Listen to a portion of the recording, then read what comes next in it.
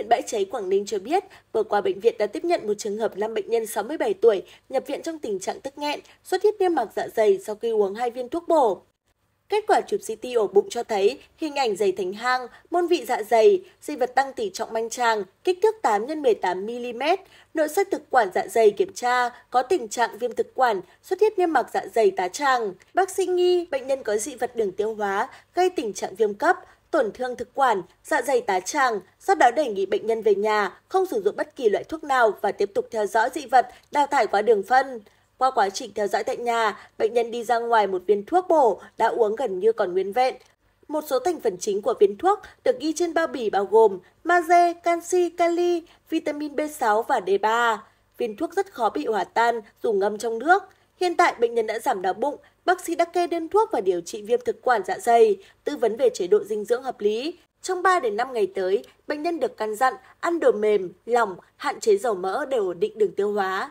Các bác sĩ khuyến cáo người cao tuổi thường hay bị suy giảm chức năng tiêu hóa, trong đó có chức năng vận động của ống tiêu hóa. Những viên thuốc có kích thước lớn thường khó hòa tan nếu bệnh nhân uống ít nước. Thậm chí, những viên thuốc này có thể tạo thành dị vật nguy hiểm, viêm thực quản, viêm dạ dày tá tràng, đau bụng cấp. Vì vậy, người cao tuổi cần phải cẩn trọng trong quá trình ăn uống, điều trị về thuốc nên sử dụng thuốc kê đơn của bác sĩ và đọc kỹ hướng dẫn trong đơn thuốc. Ngay khi xuất hiện các triệu chứng nghi ngờ nuốt phải dị vật như nuốt vướng, tức cực, đau bụng, cần phải đến ngay cơ sở y tế chuyên khoa để được tư vấn điều trị. Dị vật đường tiêu hóa thì rất hay gặp và có thể nguy hiểm đến tính mạng. Thì uh, khoa nội tiêu hóa bệnh viện 198 thì đợt gần đây đặc biệt là cái trong cái dịp Tết vừa rồi thì cũng gặp rất nhiều trường hợp uh, từ ờ, trẻ em cho đến người lớn và đặc biệt là người già đấy những cái hóc dị vật này thường là do chủ quan và sau đấy là các cái cách xử trí. Ờ, sau khi mà bị hóc dị vật thì xử trí sai cách dẫn đến là có những cái biến chứng nặng. Đấy ví dụ như là uh, các dị vật đường tiêu hóa thường gặp có thể là uh, những cái tăm xương. Xương thì có thể có xương cá xương gà.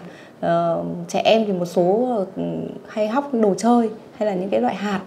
Đấy, đặc biệt thì mới gần đây nhất thì ở khoa có uh, mấy cái trường hợp bệnh nhân là sau khi ăn lẩu thì ở trong cái nước dùng ấy có cái xương, thế là bệnh nhân bị hóc. Ờ, và sau đấy thì thường theo kinh nghiệm dân gian cũng như là tự xử lý ở nhà là thường sau khi mà hóc dị vật thì người ta hay uống ngụm nước to hay là cố gắng ăn thêm nhiều vào để hy vọng là cái dị vật đấy có thể trôi xuống.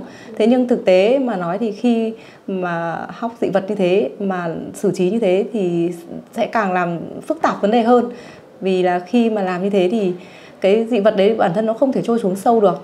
Mà những cái thức ăn mà mình ăn nhiều và như thế mà nếu mà nôn ra, nguy cơ sặc dẫn vào đường thở, khí quản, nguy cơ có thể suy hấp và tử vong.